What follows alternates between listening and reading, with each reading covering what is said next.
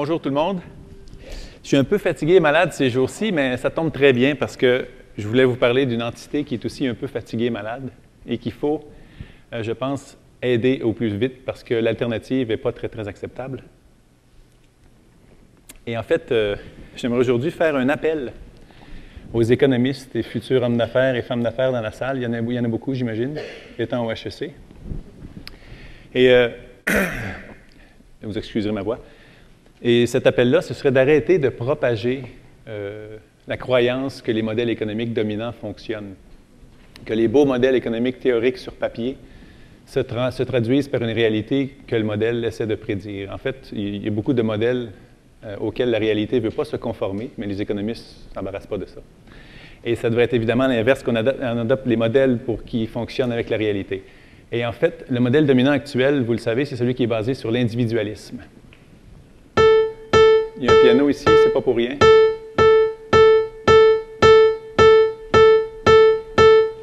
C'est fatigant, hein? Ça, c'est l'individualisme exprimé en musique. Une note qui ne pense qu'à sa propre résonance et sa grande brillance. Notez que deux individualistes ensemble, c'est guère plus intéressant. Un groupe d'individualistes On va y revenir. Mais bref, ce modèle-là fait l'hypothèse que si chacun maximise son propre avantage personnel, la collectivité va s'en retrouver maximisée. C'est le modèle dominant économique actuel dans le monde. Ça fait aussi l'hypothèse implicite qu'on est tous égaux au départ, parce que c'est basé sur l'individu qui pense qu'à lui. Donc, ça fait l'hypothèse de l'égalité des chances, on est tous égaux au départ.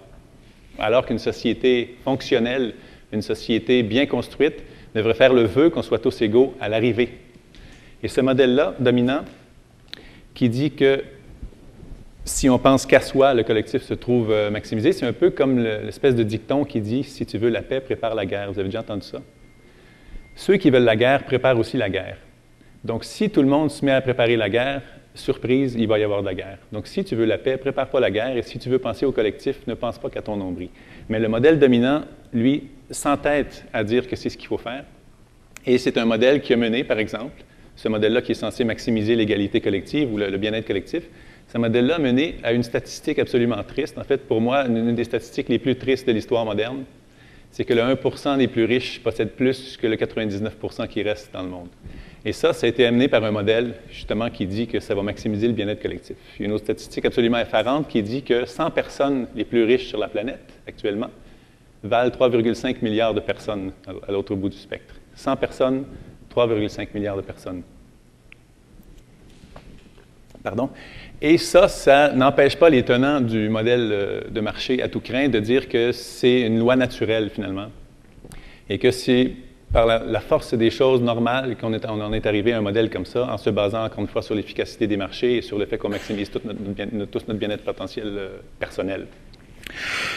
Pas trop tousser dans le micro, pardon. Et ceux qui disent que c'est une loi naturelle, la loi de marché, et que l'état de, l'économie mondiale du 1,1 versus 99% que c'est normal et que c'est naturel, il faudrait faire un test de la nature, justement. Prendre un, animal dans un coin, disons à gauche, et 99 animaux à droite, et leur donner exactement la même nourriture à un et le, même type de nourriture au 99, et avec un chronomètre, voir combien de temps ça durerait dans la nature, ça.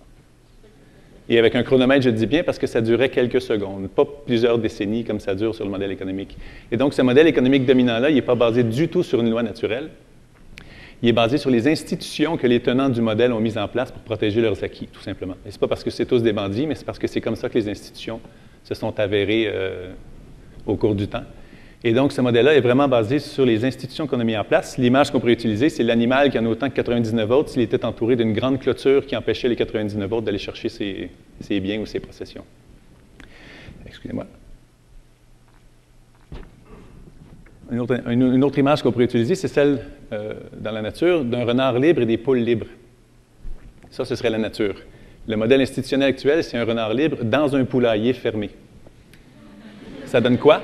Ça donne un renard plutôt gras et des poules moins qu'heureuses euh, en bout de ligne. Donc ce modèle-là, il ne fonctionne absolument pas et il est aussi basé, ce modèle-là, sur une certaine surproduction ou production à, à toutes les sauces pour, euh, évidemment, euh, faire rouler ce modèle-là et faire en sorte que le, prix de l'action monte pour maximiser le, bénéfice des actionnaires, évidemment. Et cette surproduction-là mène à de la surconsommation, bien sûr. Et la surconsommation est alimentée par un surendettement. Et le surendettement des ménages mène à une désolidarisation parce que un ménage surendetté n'a pas de place pour penser au collectif dans son esprit. Il pense à se sortir de son marasme économique et à payer ses dettes. Donc, c'est un modèle qui, par effet indirect, a plusieurs conséquences qu'on peut peut-être ne pas soupçonner au départ, mais qui mène à une désolidarisation, désolidarisation de la société. Et cette désolidarisation-là est très néfaste, on l'a vu tantôt dans, la disparité des richesses, ou mène à une disparité des richesses. C'est un modèle aussi qui mène au fait que les ingénieurs sont embauchés pour programmer l'obsolescence dans ce qu'ils produisent, pour que ça ne dure pas trop longtemps, pour qu'on puisse racheter rapidement et faire encore une fois rouler cette, dynamique économique pardon, qui mène aussi à, par exemple, des gens de marketing qui vont programmer l'obsolescence dans nos esprits. Et là, je pense au iPhone.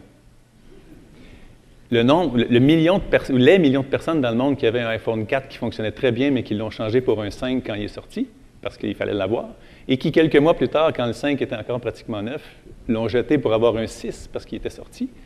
Ça aussi, ça fait partie d'un modèle de surconsommation qui ne mène pas à des choses très, très saine, non seulement pour les, ressources qu'on utilise, mais pour euh, le système dans son ensemble aussi.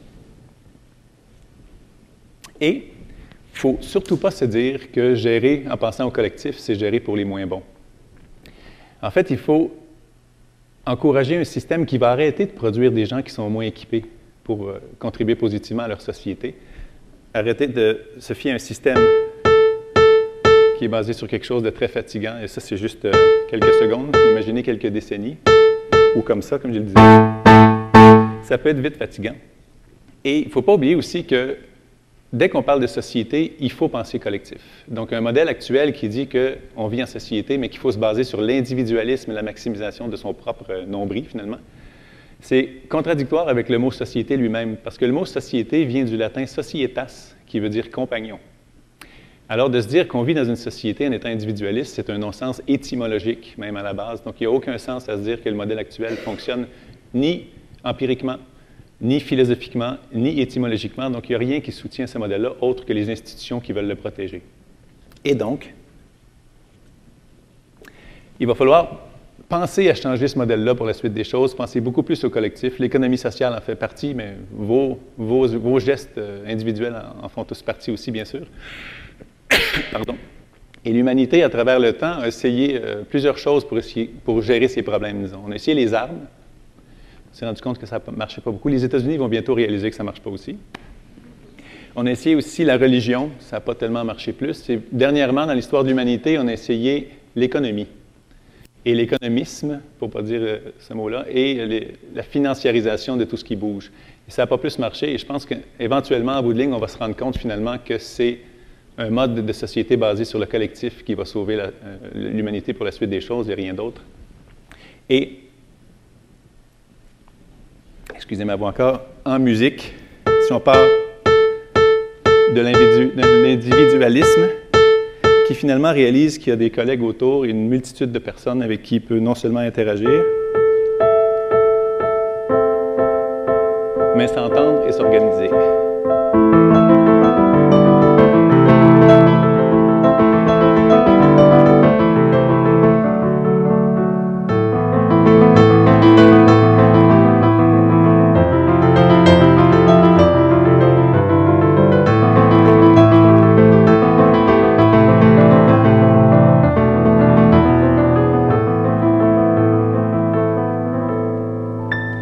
Pessimistes qui vont vous dire que où il y a de l'homme, il y a de l'hommerie, vous leur répondrez qu'où il y a de l'homme, il y a de l'humanisme.